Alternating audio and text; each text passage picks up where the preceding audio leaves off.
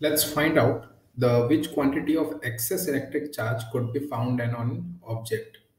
So in first part, the charge is